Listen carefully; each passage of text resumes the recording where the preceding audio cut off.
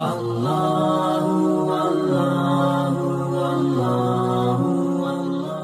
اللہ الرحمن الرحیم حضرات محترم میرے بھائی بہنوں اور بیٹیوں میرے دل کے اندر یہ جذبہ آیا ہے کہ ربیع الاول کے بابرکت مہینے میں آپ کو ایک عظیم تحفہ سنانے لگا ہوں، جس کا نام ہے نماز حاجت حضرت خضر علیہ السلام.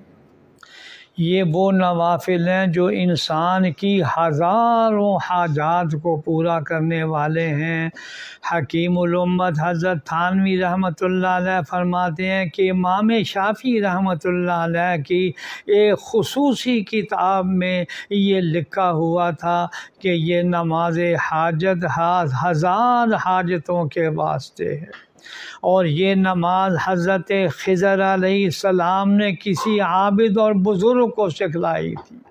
اب اس کا طریقہ سن لیجیے، پڑھنے کا طریقہ یہ ہے، دو رکعت نفل نماز کی نیت کریں اور اس طرح پڑھیں کہ پہلی رکعت میں سورہ فاتحہ ایک بار اور یا ایوہ الکافرون دس بار اور دوسری رکعت میں سورہ فاتحہ ایک بار اور هو اللہ احد گیارہ بار، پھر دونوں طرف سلام پھیر کر سجدے میں جائیں اور سجدے میں دس بار دروشی پڑھیں اور دس بار سبحان اللہ والحمد للہ ولا الہ الا اللہ واللہ اکبر ولا حول ولا قوت الا باللہ العلی العظیم اور پھر سجدے ہی میں دس بار پڑھیں ربنا آتنا فی الدنیا حسنہ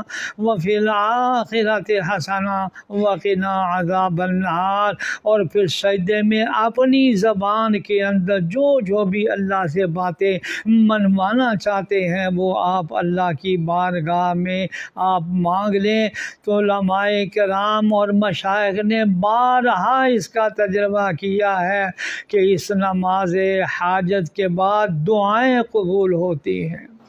اور اب یہ ربیع الاول کا مہینہ ہے۔ میری درخواست یہ ہے کہ ہر رات کو یہ دعا، یہ نفل پڑھ لیے جائیں، ورنہ شب جمعہ میں پاک صاف کپڑے پہنیں، غسل کریں، خوشبو لگائیں اور مرکورہ نفل پڑھ لیں۔ اللہ مجھے بھی اور آپ کو بھی توفیق عطا فرمائے۔ آمین۔ یا رب العالمین۔